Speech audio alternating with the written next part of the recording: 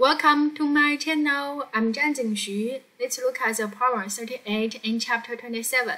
Chapter 27 is about magnetism. So there we need to prove the magnetic dipole moment mu just equal to this function. This L is our uh, orbital momentum L. So how can we prove it? So we from the left to the right. Okay. First one we look at the mu. Magnetic dipole moment from definition is NIA, right? N is how many turns? I is current on this uh, loop. A is cross-sectional areas.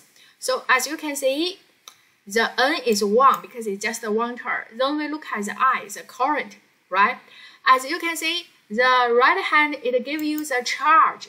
And the left hand is the current I. So we need to try our best to move the this uh, function is close to the right hand side, right? So we need to replace the current I with E. As you can see, the current is the charge at a certain time, right? The charge over a certain time. So for a loop, it is the charge divided by the period. The period is the time taken for one loop. Agree? Yes. And the A is a pi r squared, right? The cross-sectional areas. The next one, we need to find the t because we don't know t yet. The t is just the period. So we can use the distance it traveled for one circle, 2 pi r divided by v. Agree?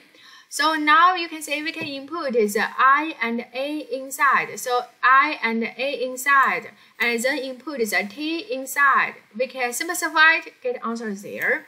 So it looks like you need to prove the mu equal to this uh, term z.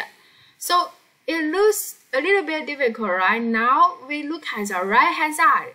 It tells you the L. L is the circular momentum, right? R and V. So you can start from the right hand side. You can see the right hand side is E over 2m times L. You input L inside and simplify it. Bingo! It is just the mu, magnetic dipole momentum right? Thank you. So for these uh, questions like the proof, you need to just build the bridge between the left hand side and right hand side, right? You try your best to move the left hand close to right hand side.